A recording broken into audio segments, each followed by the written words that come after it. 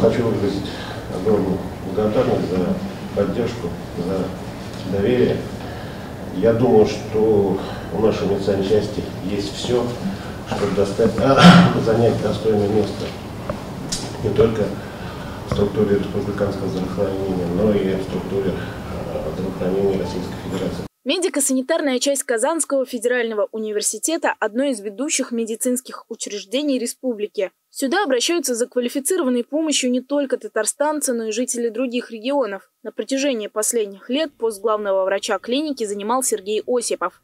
Накануне был представлен новый руководитель униклиники – Ринат Шагабуддинов. Главного врача поприветствовали министр здравоохранения республики Марсель Минулин и ректор Казанского федерального университета Ленар Сафин. Клиника при федеральном университете с огромными возможностями различных разработок, да, плюс э, воспитание своих же кадров, э, э, ну просто вот при должном и правильном управлении и расстановке приоритетных задач, я думаю, что клиника должна выстреливать, и причем выстреливать вверх э, достаточно быстро.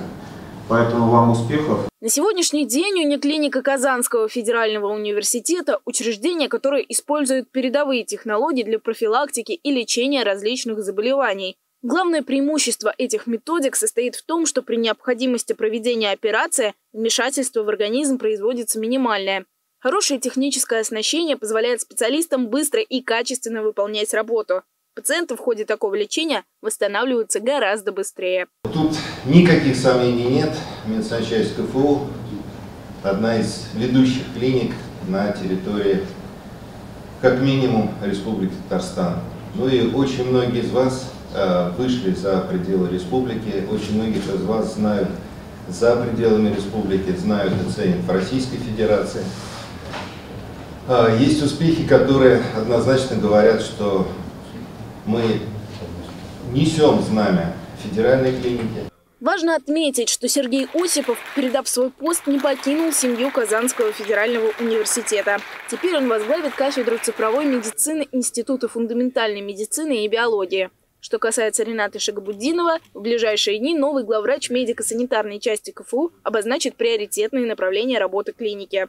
Важно отметить, что Ринат Шагабуддинов – обладатель звания «Заслуженный врач Республики Татарстан». За практически 25 лет работы он прошел путь от врача-интерна до заместителя главного врача по хирургической помощи, а теперь уже и главного врача медико-санитарной части КФУ. Маргарита Михайлова, Фарид Захитаглы, Univer News. Thank